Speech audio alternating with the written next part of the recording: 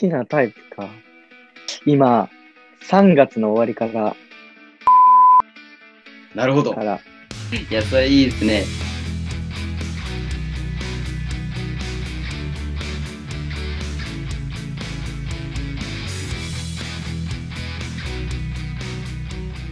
じゃあ、岩崎屋です。今日はですね、まあ、NHK 杯ももうすぐということで、ある選手にインタビューさせていただけることになりました。それでは、じゃあカメラの方オンにしてください。こんにちは。こんにちは。こんにちは。同じ所属の選手ですけども、まずはお名前から伺ってもいいですか？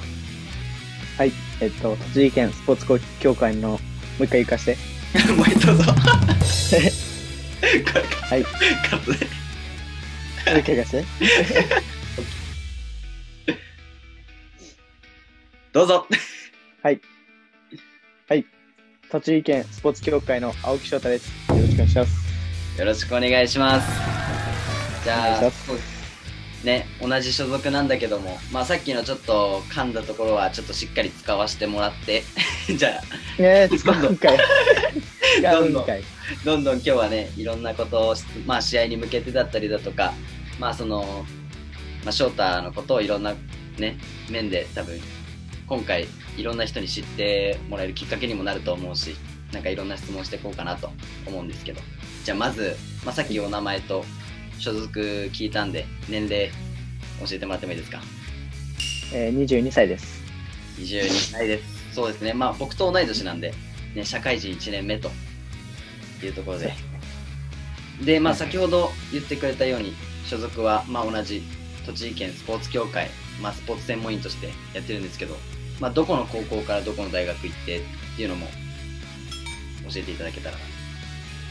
はい。えっと、高校は埼玉栄高校から、で、仙台大学の方に来ました。で、栃木ですね。そうです。そして、栃木県スポーツ協会っていうか感じですね。まあね、それこそ同じ所属になってからまだ日は浅いんですけど、まあなんかちょっといつもと知ってる翔太よりなんかちょっと緊張してる感じがなんか見えるんですけども。あまあまあまあまあまあ、多少の緊張はありますけど。まあ大丈夫、リラックスして、まあいろんな質問答えていただけたらなと思います。まあ今回それこそね、なんか僕もインタビューする側っていうことで、まあ青木選手って呼ぼうか、まあそれとも、もし何かニックネーム、まあ、僕以外にもまあいろんな人に呼ばれてる呼び方であったりだとか、まあこう呼んでほしいとかがあれば、ぜひ教えていただきたいなと。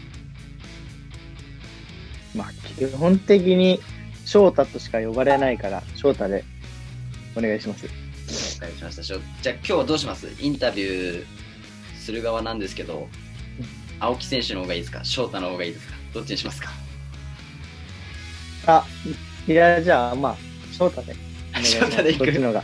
もうねでも青木選手ってさ緊張こせずいけるんで、それで。こっちの方がね、スムーズに進むからそねそしたら翔太にしようか、まあまあまあまあ。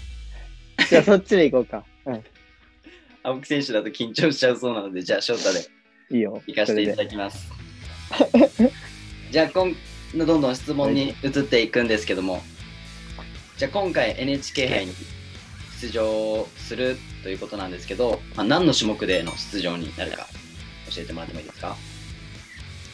えー今回は床だけの出場になります。なるほど。じゃあその床、その翔太の床で、まあ、みんなに注目してほしいポイントだったりだとか、まあ、技だったりだとかがあれば、ぜひ教えてください。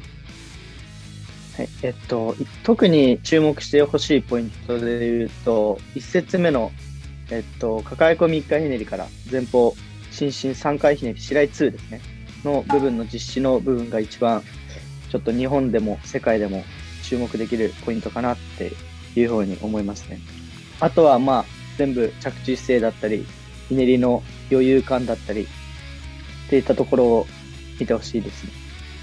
ありがとうございます。じゃあね、その動画もちょっと後ほどいただいて、まあ、みんなにもこう、バーンって見せ見せられたらなと思うんですけど、まあ、そうですね、同じ所属の自分としても、やっぱりそのひねりの鋭さだったりだとか、例えばその宙返りの連続技だったりだとかの、なんかその間ですよね。地面見て次の蹴りに行くっていうなんかつなぎ方だったりとかすごく上手な選手で着地姿勢も高く美しいのでぜひ注目していただけたらなと思ってます。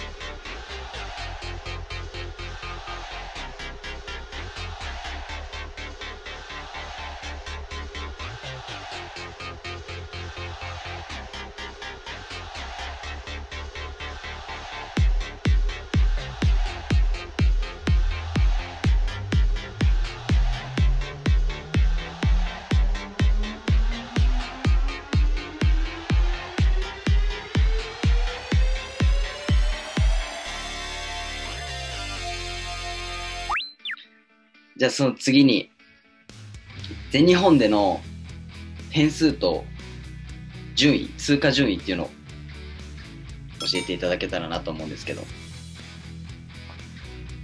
えっと、全日本の予選では、はい14.8、あ、間違えた。間違えた。あ、いいな14.866ではい予選は2番で通過して、で、決勝は14.566か。はいで、えー、7番ですよね。7番法律の7番で。はい。なるほど。というのはですね、じゃあ NHK 杯、それこそ今までの、まあ、市議会でも試合でもいいんですけど、自己ベストの点数っていうのはどのくらいなんでしょうか？自己ベストがあの予選の14.86ですかね。が自己ベストでした。じゃあそこを14.866を、まあ、まあ前回の超えるか同じ点数ぐらいを取るかっていう部分が、まあ、もし NHK 杯で取れたら、まあ、それこそ2番通過前回が2番通過だったよねそのメダルだったりだとか、まあ、上の選手がね、まあ、ミスするかいつするかわからないんでねなんかそうねまず自分がベスト取れればもしかしたら優勝だったりとかもあり得る位置にいるっていう状況ですよね。そうですね。いや、ぜひ、ね、期待してもいいでしょうか。はい。じゃあ、優勝目指して頑張ります。ありがとうございます。ありがとうございます。じゃあ、その NHK 杯では、まあ、その予定している D スコアだったりだっていうのは、なんかその全日本からは何か変更とかはされるんですか？えっと、全日本の予選決勝と一緒の構成6.3のはい。D スコアで、あの、D スコアを確実に伸ばしていく演技構成になってます。なるほど。じゃあ、そのままの技の内容で NHK 杯も挑んで、まあ、高得点、より高得点を狙っていくっていうような形ですかね。そうですね。ありがとうございます。